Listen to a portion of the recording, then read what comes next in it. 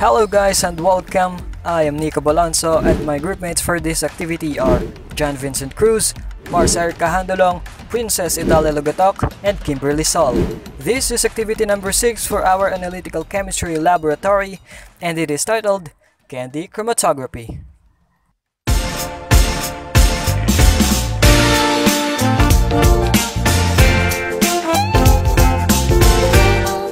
This experiment, we will use paper chromatography to separate and reveal the hidden colors in the dyes used to color candies. But before we do the activity, let's show first the materials needed.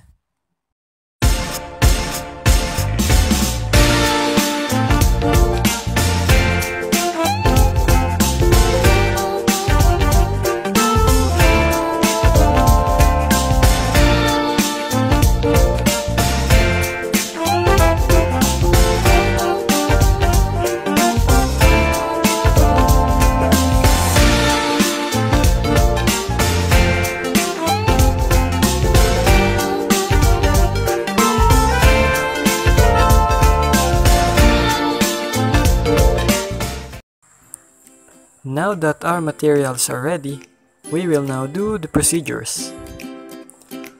First thing we have to do is to prepare the salt water solution.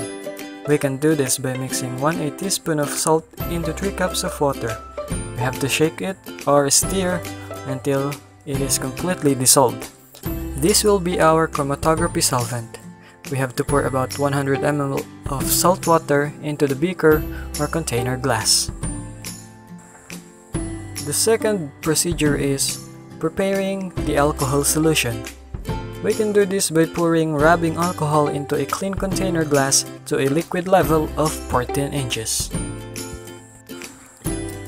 Third step on the list is preparing two pieces of chromatography papers cut out into a size of 8 by 8 centimeters.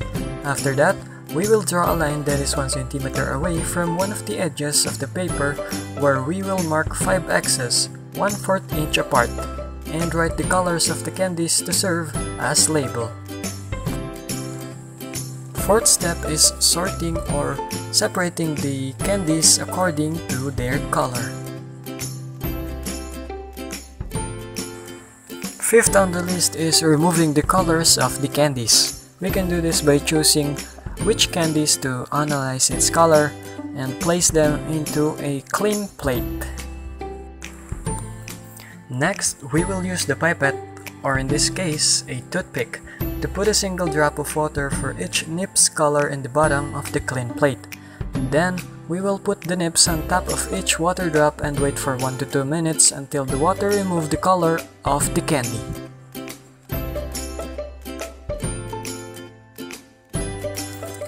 Now that we have a pigment from the candy, our next step is to dab that water droplet or pigment using a toothpick and apply that pigment to the filter paper. We have to apply at least 2 to 3 coats of this and we have to repeat this process for the other remaining colors. When the papers are finally dry, our next step is to fold them into half so that they stand up on their own. And we have to make sure that we do this vertically so that the line with the marks are near the bottom edge of the paper.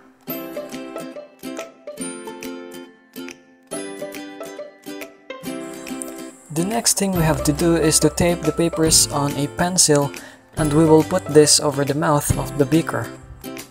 We have to make sure that the sample are not directly touching the solution, leaving the solution level below the line of the sample.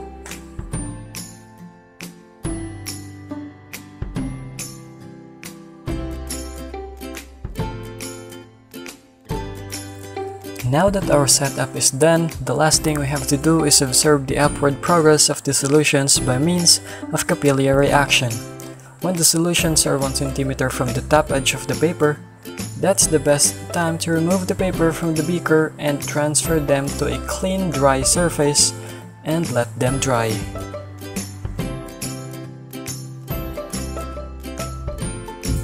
Now that we have our products, we are now going to calculate and solve for the retention factor for all the dyes of the nips. Some spots will belong streaks, and for cases like this, We have to approximate the center of the spot and use that point to solve for the retention factor.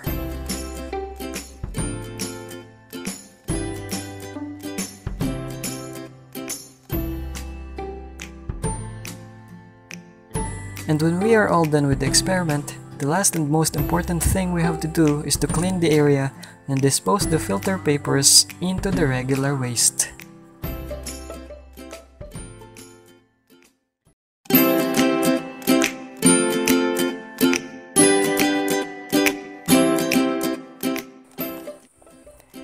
In the process called chromatography, the dyes color are seen to be climbing up the filter paper with both the salt water and the rubbing alcohol as solvents. They are aided by the capillary action in doing so. In respect to the two different solvents used, the dyes in rubbing alcohol have reached greater heights or peaks on the filter paper in comparison to the saltwater solution, therefore gaining higher retention factor values. We can prove this through the values obtained for the rubbing alcohol and saltwater solution respectively.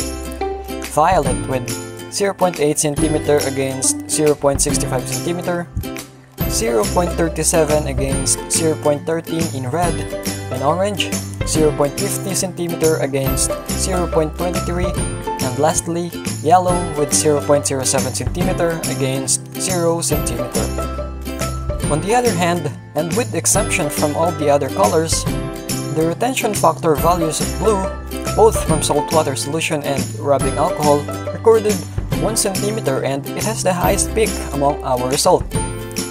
And what can we conclude from this activity considering that there are differences in our two chromatograms? Well, as a dye is subtracted to the filter paper, the less it will climb up on that filter paper. If a dye is soluble in a solvent, the greater the height it will climb up on that filter paper. However, there are dyes which are more soluble in rubbing alcohol than in saltwater solution like violet, red, and orange. That's why the retention factor values of these certain dyes are larger for the rubbing alcohol as solvent. And that, my friend, wraps up this activity. I hope you learned something and this is me again, Nicko Balonso, and my groupmates for this activity who exerted tremendous effort to turn this into success are John Vincent Cruz, Mars Erica Jandulong, Princess Idahlia Logatoc, and Kimberly Sol. Until next time, God bless and thanks for watching.